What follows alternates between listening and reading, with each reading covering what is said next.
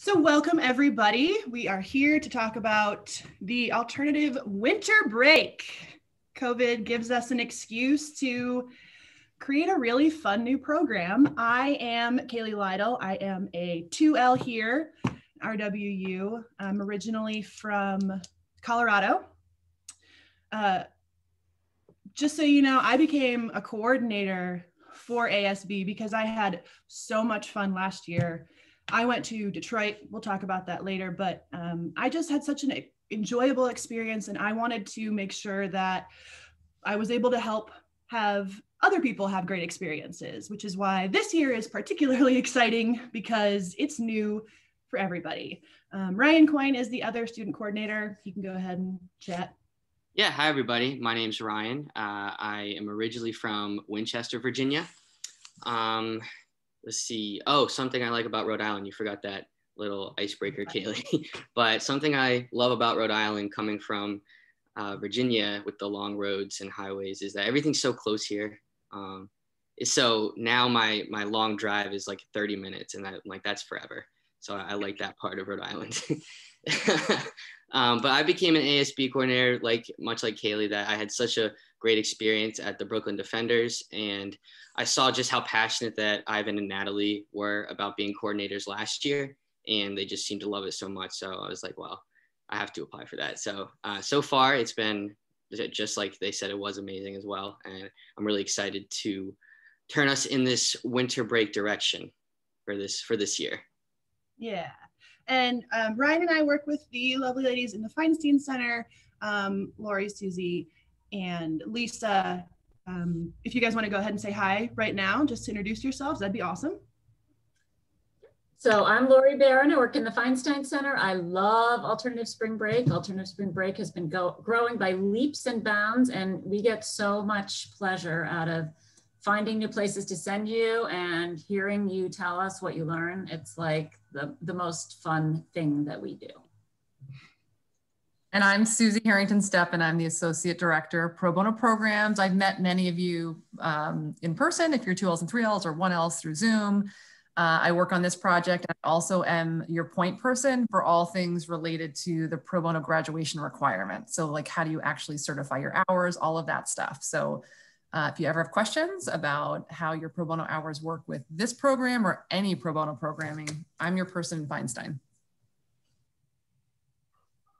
Hi, I'm Lisa Quinn. I'm the program coordinator. I work with um, Lori and Eliza and Susie in the Feinstein Center, and I'm here um, helping Kaylee and Ryan create, you know, help pull this program together. Um, and I'm here for anything Feinstein Center related. So um, looking forward to working with you all on ASB.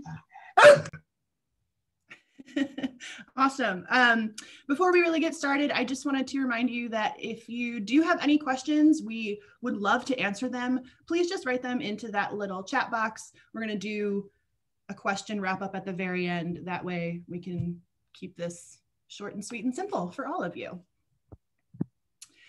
So alternative winter break this year. It's usually known as alternative spring break.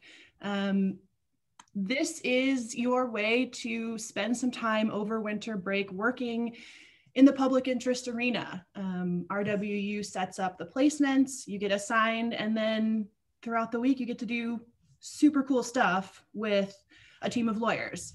Um, this year, it's going to be mostly remote. There are a few possible exceptions. Those are still some details that we're working out behind the scenes.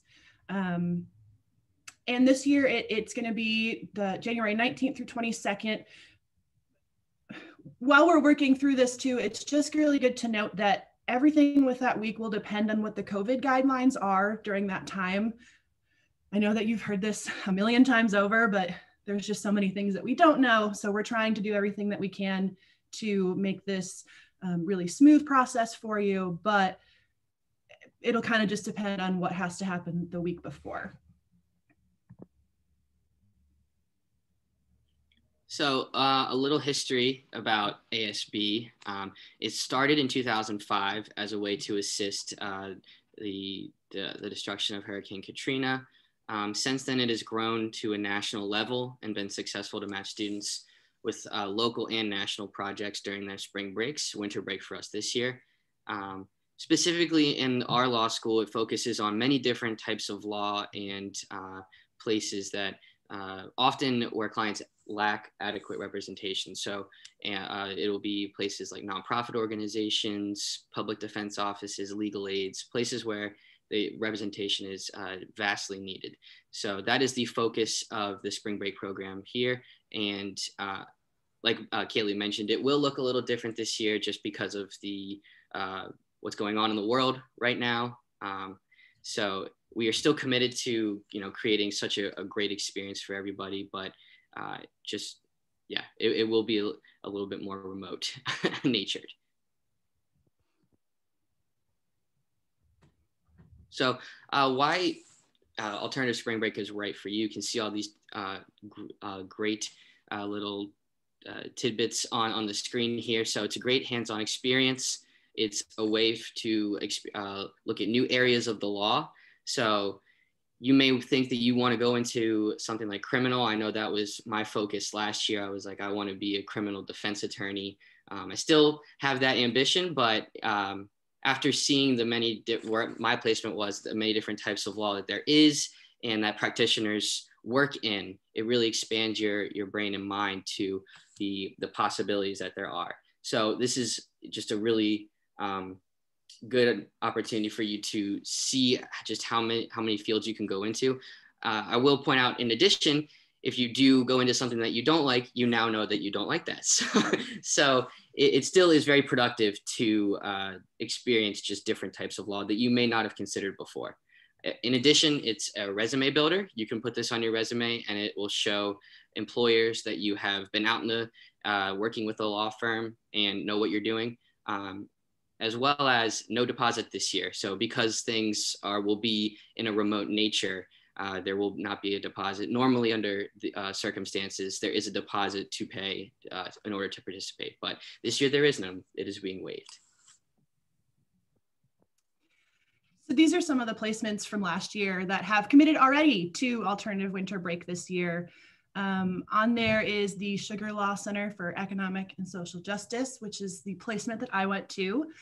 I originally grew up in the Detroit area, so that was extremely amazing to go back and, and give back to my community. But like Ryan said, it was a great uh, way for me to know that I did not want to work in labor and employment law. Um, but I still got so much out of that week, and I have such great memories from learning about unions in Detroit and how this organization helps those who really just need legal help in any way that they can. Um, I know that Ryan went to the Brooklyn Defenders, which is pretty similar to the Bronx Defender Services. Um, mm-hmm. So it's really exciting to see that all of these placements still want students to come and help.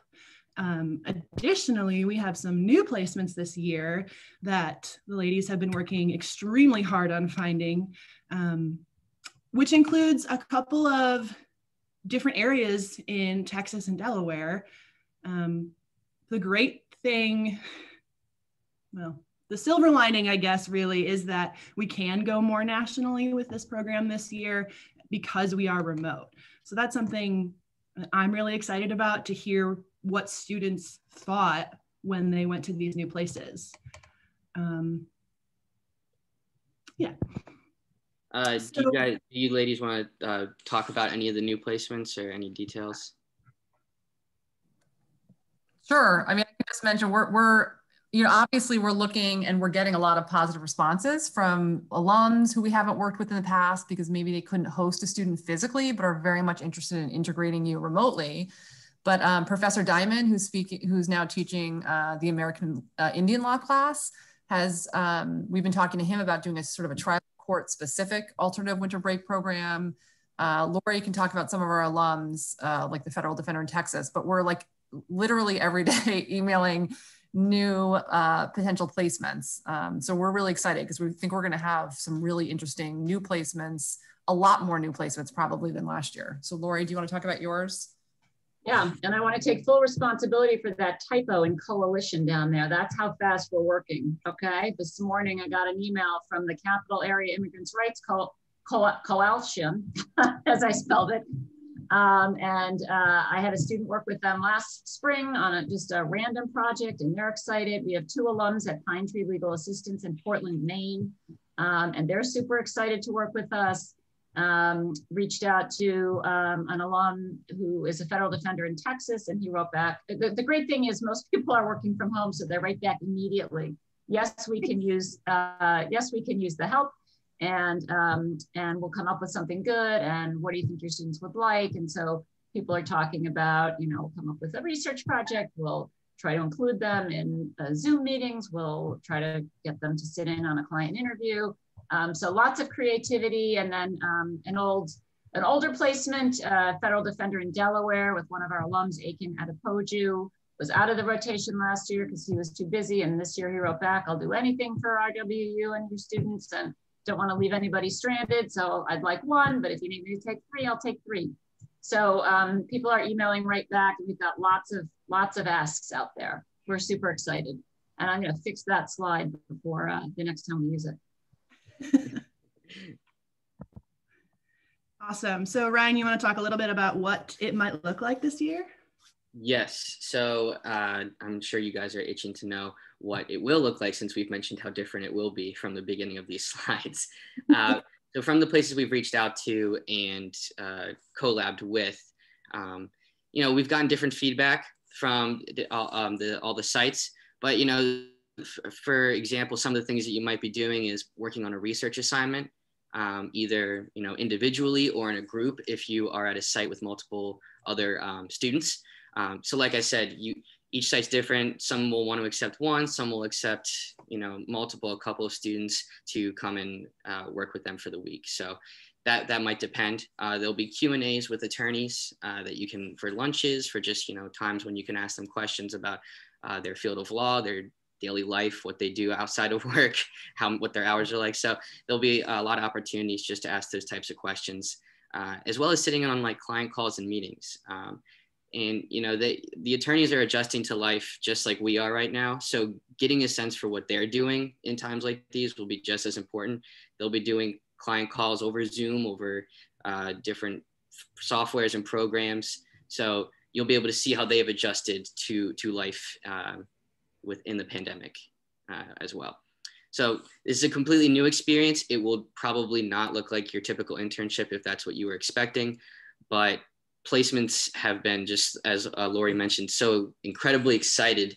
to adjust and host with us this year um, and create an experience that you will come out of with a positive attitude and feel more ready to go into the field after you graduate.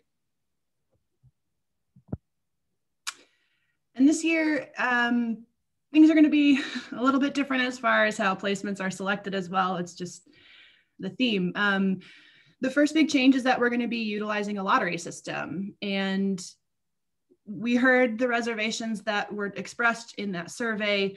Um, our goal here is to make this process as stress free as possible, not only for you guys, but also, you know, for us. Um, we're trying to be fair. We want to be inclusive. We're also trying to just be mindful of the collective stress levels that the entire RW community is feeling too. Um, so we we don't think that there will be enough spots for everyone. Um, so some of the things that we're going to be considering is whether you've done ASB in the past, how many hours do you need, how many placements are available, the numbers of spots in the placements, and we're also not requiring the usual essay that we have in the past, and we're not weighing the quality of your resume or how in the, um, please at the end ask any questions that you have and we'll try to answer them. We want to make sure that we're able to give you as much information as possible um, and just also knowing that we're kind of trying to be flexible with all of this as well. Kaylee, you froze a little bit, at least for me. Will you just repeat sort of the resume piece? Because it's important that students know that their experience doesn't matter. Or I guess I'm saying it for you. Your experience doesn't matter, but the quality of your resume is going to be looked at. Okay. So no one should feel like, wait, I have no criminal defense experience. They're not going to pick me. No, but you all definitely need to get your resume in shape. That's really important, just in case anyone missed that. Yes. And we will talk more about that as well, um, which brings us to this slide, how to apply to participate. Um, so your resume is a part of the, uh, the application process. Um, we do recommend that if you need some help, chat with the career development. I know that they've got an like an open day coming up soon just to check your resumes and um, everybody in that office is so helpful and kind. Sorry, that was my animal. Um, but the exciting thing is that uh, the alternative winter break um, sorry, application is going live on Wednesday, November 25th. So we know this is right during the Thanksgiving break, but our hope is that when everybody's able to kind of take a step back and have some breathing space, this will be a very quick, easy way to apply just your resume and then this application. Um, we're also going to send out an email in advance so that you have the placement descriptions because you will be ranking your placements when you apply. Um, and we'll also include all of the instructions. And Ryan and I are planning on hosting a Zoom um, hangout session, I suppose, during that week. So that way, if you do have any questions, please ask us. Um, we'll give you our emails. We'll make sure that Ryan and I are very available to talk. Um, and we want to make sure that this is, yeah, as easy a process as possible for you. Yeah, we were thinking of doing something on like Friday or Saturday, a Zoom setup, but like Kaylee said, our emails, um, I mean, if you need it, I'm more than happy to give it to you. Um, but I think they were in the administrative announcement email. So please just like reach out anytime you have any questions. I'm happy to answer, really. It's not a bother. No, this is the fun part of law school for us. Yeah, it's a distraction. there we go. Um, so the other thing to note is that Monday, November 30th at 5 p.m. is when those applications are due. So that's almost a week um, we're trying to make sure that we are able to notify you by Friday, December 4th, um, which is why the applications are due earlier that week. So it's just really important to note that this is right in that little reading time that we get. Um, there is a chance that we may need to communicate with you and contact you during this week. So please make sure in the application you include uh, like a, the best way to get a hold of you. That'll be listed on there. That's just a, a just a little reminder. Mm-hmm. Uh, and then, so just a few more dates to remember. Uh, there will be a mandatory pre trip orientation session uh, in January. We haven't quite scheduled the date on that just yet because we want to uh, just figure out the iron out the details a little bit more so that we give everybody an opportunity to be able to attend. It will likely be in the evening. It will most definitely be through Zoom. Uh, it'll go for about two hours where really uh, Kaylee and I will just, uh, as well as Lisa, Lori, and uh, Susie will tell you about the expectations, what your week will look like, um, just some uh, decorum and, and, things to do and to remember to do when you're at, at your placements that week. Uh, so just be on the lookout for that. We will give you plenty of time in advance to schedule that date so that you have that in your calendars. Uh, in addition, we'll be doing a post-trip debrief, uh, and we scheduled that for February 27th. Uh, January, 27th. January. Okay, that's my bad. January 27th. uh, yeah, it is kind of far out. I was like, yeah, I might have missed that, but it'll be January 27th. Um, so we'll fix that and make sure that you guys have that proper date. That's my bad. Um, but basically, in this debrief, we just uh, go around and talk about the different placements that everyone went to and your experience and what you did, and just basically try to uh, get everyone onto the same page of, of the great work that you did around the state and um, or possibly around the country wherever you are. This is our group from last year. Um, we will take a group photo via Zoom during our mandatory orientation. And what a, a great um, new thing to talk about during next year's ASB. Um, and then as far as what happens next, um, definitely get your resume ready. Again, career development. I'm sure that they've all been very helpful so far, but I highly recommend them. Fill out that application as soon as it goes live. We will send you a reminder email. Um, and then really just get ready for a super cool week. We we know that it's going to be fun and we know that it's going to be engaging. We just don't know exactly what that looks like, but that's what I'm most excited for. I can't wait to hear what you get to do during this week. Um, and then finally, this is our emails again. Kaylee, Ryan, we are here for any kind of questions. Um, we're very passionate about alternative spring winter break and I just love so much for everybody to be able to experience this. So please definitely ask us questions. Um, and then I'm going to go ahead and stop sharing. Yeah, and Kaylee, I just wanted to say one other thing that I forgot to say on like, you know, trying to put a plug for for why this is was such a, a good experience for me. I didn't have any legal experience prior to law school. I'm sure much like most of you might have had. I mean, I worked in a high school. I helped kids go to college. so uh, really not related to the law at all. And I was very nervous coming into law school about my experience and what and what I would have to offer and what it would look like to be in a law firm. So, and it was it was just in the back of my mind the whole time. So, you know, when I heard about ASB, I immediately jumped on the opportunity to apply and participate, and I couldn't be more grateful that I did. And you know, it was it was just one day after the next in uh, in Brooklyn was a, a, new a new thing that I learned, a new thing that I saw. But really, my favorite part was just seeing these people in the field do not only like exceptional work for that's needed, but just like be in happy moods, just living life a little bit and and talking about the law. It was yeah, it was just like it was great to see. So that's just my last little plug I wanted to throw in that I forgot about. Yeah, I totally agree. I think that having the experience of getting to know lawyers was one of the coolest part. I don't have lawyers in my family. I didn't know any lawyers, so going to an office and like I've also never I don't know what a lawyer does. So it was great to see what different kinds of lawyers do every day. Uh, that was that was the real drive for me for for why my why I chose ASB. Mm-hmm so sorry about that cat in the background. Um, I do see a couple of questions. So um, the first one, how many spots are there and how many students do you see applying? Um, that's a great question, Sam. I unfortunately don't have a full number yet because we are still working with a lot of these placements to make sure or to like follow up and see how many students they can take. Um, if Lori or Susie or Lisa wants to hop in here I can I can try this. Um, so we had over 110 people fill out the survey expressing interest, which is way more than we've ever had. So we think there are a lot of people craving um, experience and connection. And last year was a weird year because COVID hit right in the middle.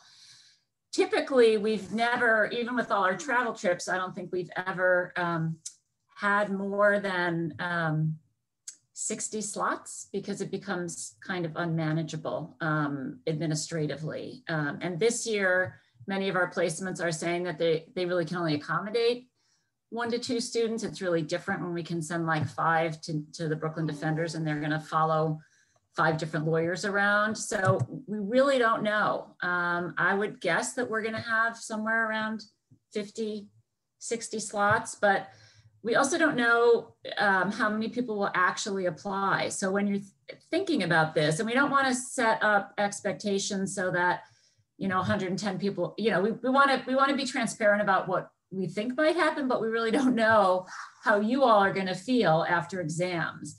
So this is, you know, right now we have classes aren't starting until January 25th.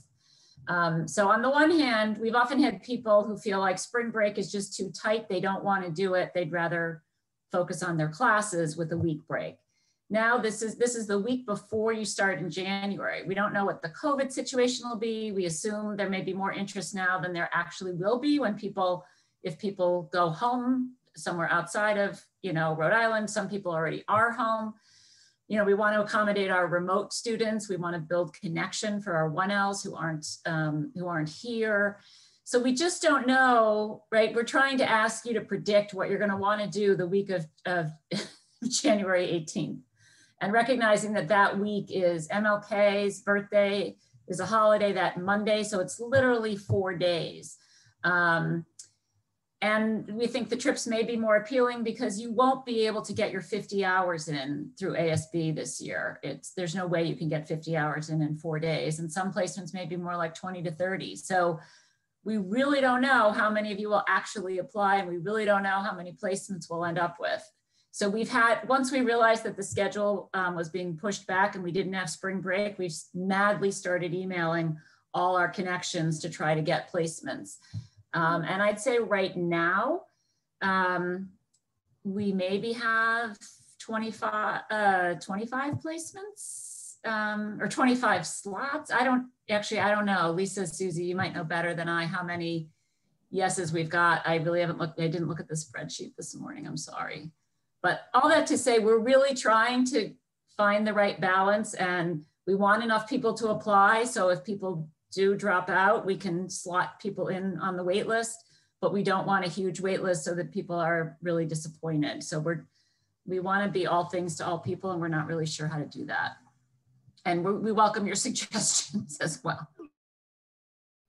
Yeah, that's a good point. Any suggestions that any of you have, we are we ourselves are being flexible. We're trying to make sure that we're accommodating everyone. And um, I know that like sometimes hearing I don't know is not helpful during law school, but there are some things that we just don't know.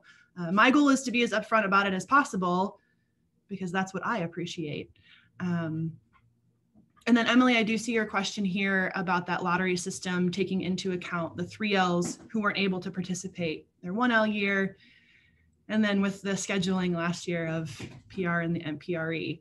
Um, this is something that we have discussed. I I can't fully remember what we talked about, um, but but the the lottery on the application it will include things like how many hours do you need, have you participated in ASB before, and and your year.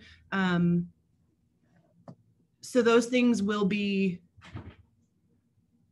in front of us we will know about those things i don't know exactly how much it will weigh in that lottery i don't myself but um, those are all things that we have put on the application with the intention of like keeping ahead in our brains yeah I'm just going to chime in. I think that's right, Kaylee. And just so everyone understands, we literally switched gears on this program like less than three weeks three weeks ago, including like changing the entire application procedure. So bear with us. Like we're again we're trying to be fair and we're also trying to reduce the amount of stress or and competition. Like we don't want you to feel like you're competing against each other for these spots. But i think the MPRE is a really good point and we'll probably ask several questions like kaylee said in the application so we can sort of gauge these different issues. And then depending on the pool we, we may have to shift. And we'll we'll try to be really transparent. But again we're literally trying to our entire timeline for this program has been ramped up. So just just understand that uh, we're trying to take these things into account. And if anyone has any other things that they think should be taken into account, just shoot us an email. Like this is the time. We'd love to hear it. The survey was really helpful, but we're totally open to trying to make this as fair as possible. But we clearly aren't going to make everyone happy about every aspect of the program. And I'll just say, uh, in response to Alexis's question um, in the chat, I think we will ask you to tell us if you're able to go in person in case we have any local in-person placements. Obviously, we're not doing any travel trips this year. Um, so, um, um, and I think in terms of prioritizing, you know, I, I think what we can say is people who have already done ASB before and have all their hours will, will not get top priority. Um, and, um, and we're really trying to make it fair so that people who have no experience have as great a chance of getting a position as people who have tons of experience. We're trying to, we really want this to be a program that works for everybody. And so we want you to have beautiful resumes that are that are neat and clean and no typos, but we're not uh, judging at all based on what you did before you came to law school or what you did last summer. Um, what we want. And I also, just, oh, sorry. No, go ahead. Go ahead. I was just gonna say for Alexis, the application will be very clear. We already know that at least one placement only wants students if it's safe to come in person. So when you're ranking, it will be very clear if that organization is only in person, only remote, remote, or they're open to either. So you'll be able to rank based on what you want to do. It'll be really clear next to the name, just like the location was essential for people last year. Not everyone wanted to go to California or Texas. When you look at the name of the organization, it'll clearly state whether it's all remote, your choice or in person. And I only think we will have a few that are even willing to do in person because everything's so up in the air in terms of what January is going to look like. and the other thing I do just want to make sure that you guys know is that we will be sending you descriptions of these placements. Um, they may not be, they may not include exactly everything that you'll do that week, but um, we'll make sure that you know, obviously, again, whether they're remote or not, um, what they do in the firm and, and sort of a little bit of history about them. That way, when you are ranking them, you will know a little bit more. Uh, and again, we're all here to help answer your questions. We really just want this to be an easy process. We, we want people to have a great experience and um, however that we can help make that happen, we're here to, to listen to that. Um, Um, I don't think- I'm going to just add something about the process. So we, we are really trying to take control and let you have some certainty about where, what placement you're going to um, and what the plan is. And so in that vein, um, we want to have, we want to figure out who has placements before you start finals. So we will get all your applications, I think at the end of the day on the Monday after Thanksgiving. That Tuesday, um, we will be trying to slot everybody in based on a lottery. And it may be that you are high up in the lottery, but all of your five slots are gone already. So on the application, we're going to ask you for the best way to contact you. And we don't want to bother you during your reading period, but we may need to call you or text you and say, hey, your top five are, are full. What's your next choice? Um, so that we can slot you in. Because if we let people if we don't want this to drag on. So our, our deadlines may seem um, rigid in the application. We're going to want to know quickly whether you want your slot or you don't so that everybody knows what's happening before you head into finals and then you don't even need to think about us um, um, until after finals. we want you to think about us. But so the dates will be the mon the the application will go live on the Wednesday before Thanksgiving which is November 25th, and the application is due, I think, by the end of the day on the Monday after Thanksgiving, which is November 30th. And then we will be making decisions like Tuesday and Wednesday of that week. Um, and we will endeavor to let everybody know everything by Friday. So we'll be slotting people in, calling people if we can't give you your um, first choice or fifth choice. and we hope you'll pick up your phone and talk to us for like three minutes and then go back to your studying. But do not tell your professors that we're bothering you during reading week because they will not like that. Ryan, do you have anything to add? Uh, I don't think so. I think you you nailed it. We like you said, just trying to be transparent and, and really help you out in the process. And that's why we we do want to help you by having a Zoom set up over Thanksgiving uh, and talking about the application, your concerns about moving forward, or just school. Honestly, anything you want to ask us, we're we're open to answering about it. And uh, like I said before, we'll make our emails available again. And I'll just add, if any of our students are other places, I already got a private chat message from somebody who thinks they might have a public defender office for us in Florida.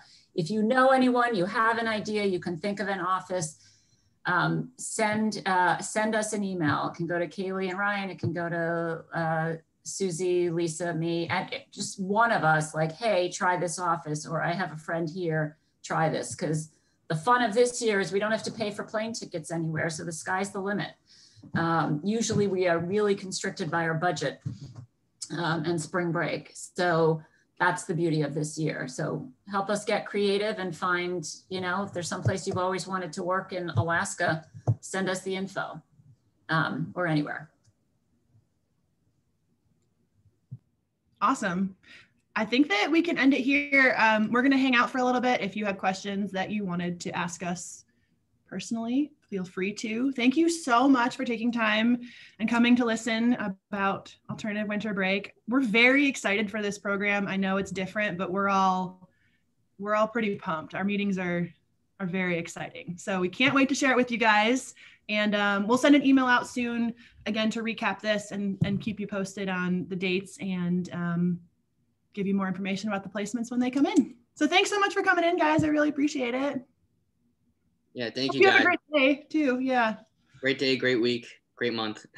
We're finishing strong. We're almost there. We can do it. Well, the month's only like three more days, but great month. Have a great month. Have a great month. Oh my God. What happened to October? We can't talk about that.